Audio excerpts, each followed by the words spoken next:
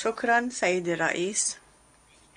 السيد الرئيس النص المقترح من جانب الدول العربية والإسلامية في ال 25 هو نص إنساني وهو يسعى لتحقيق ثلاث مسائل بسيطة. أولا وقف القتال ووقف إطلاق النار. ثانيا توفير الإغاثة الإنسانية الطارئة للمحاصرين في غزة. وثالثا منع المزيد من الترحيل لأكثر من 2 مليون في غزة. محاصرين بين القصف الإسرائيلي والدبابات الإسرائيلية. السيد الرئيس المشاركون في تقديم ال 25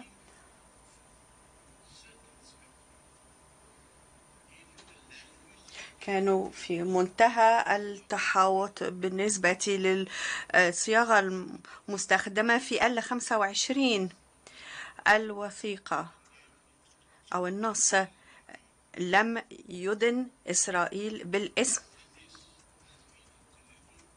وكان ذلك تصرف معتدل من جانب مقدمي مشروع القرار. لو طلعنا على الأوضاع على الأرض بالقصف الإسرائيلي قنابل المتواصلة لعشرين يوم ضد الفلسطينيين العزل بسبعة ألاف من القتلى. رجال ونساء نصفهم من الأطفال. قتلتهم إسرائيل في العشرين يوم الأخيرة سبعة عشر ألف مصابة واحد فاصل واحد مليون فلسطيني نازح.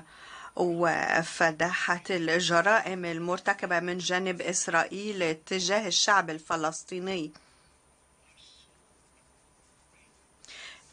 من الفظاعة بمكان لدرجة أنه من المستغرب أنه عندما يتقدم صديقي من كندا بالتأكيد على تسمية منظمة حماس والإشارة إليها بالاسم أنه لا يشعر بالحاجة على سبيل الإنصاف والتوازن.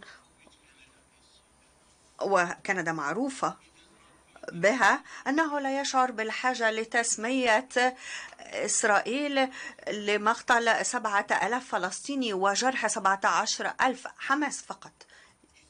ينبغي أن يشار إليها. هل هذا توازن يقول أنه ينبغي أن نسمى نسمي ما ينبغي أن يسمى.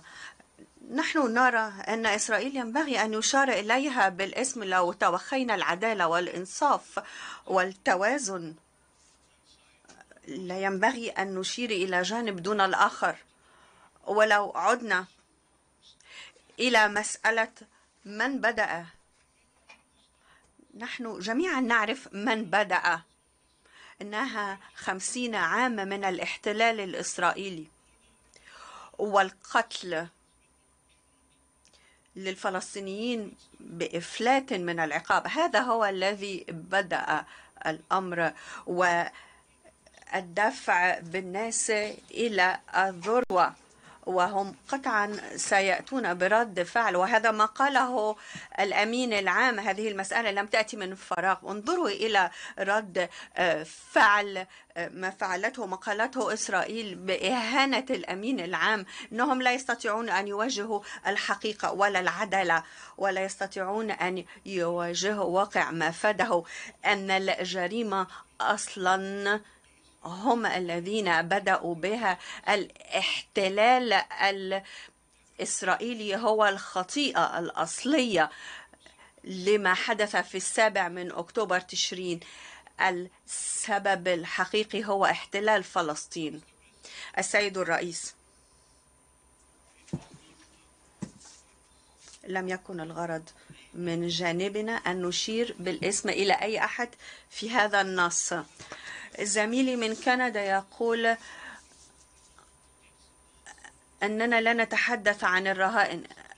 أننا نتحدث عن الرهائن بطريقة متوازنة بالإشارة إلى إطلاق السراح كل من هم محتجزين رغم إرادتهم ليس الإسرائيليون فقط محتجزون بل الفلسطينيون كذلك.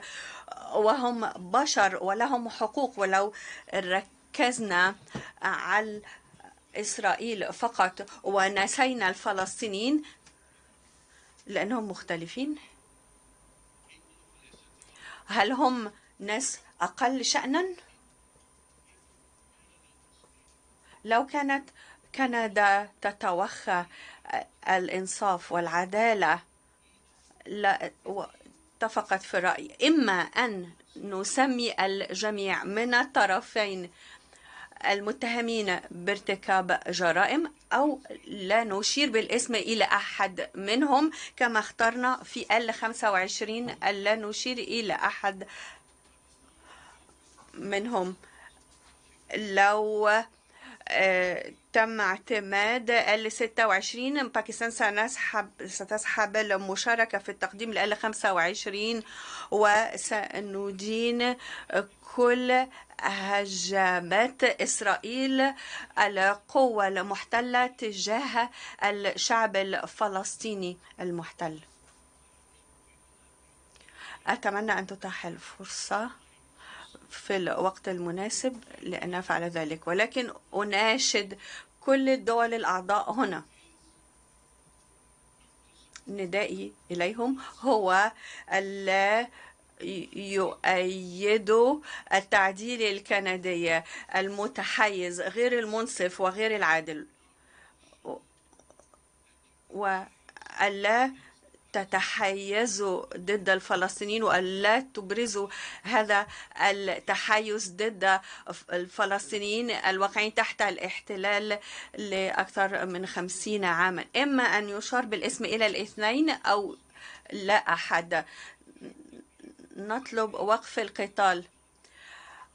الإسرائيليون ذهبوا على الأرض اليوم في غزة. هذا الواقع سيصعد الأوضاع وهذا سبب الأحرى للجمعية العامة أن تصوت على مشروع القرار هذا لوقف القتال وهذا الصراع. وهذا ما يتعين علينا أن نفعله بعد ظهر اليوم. شكرا سيدي الرئيس.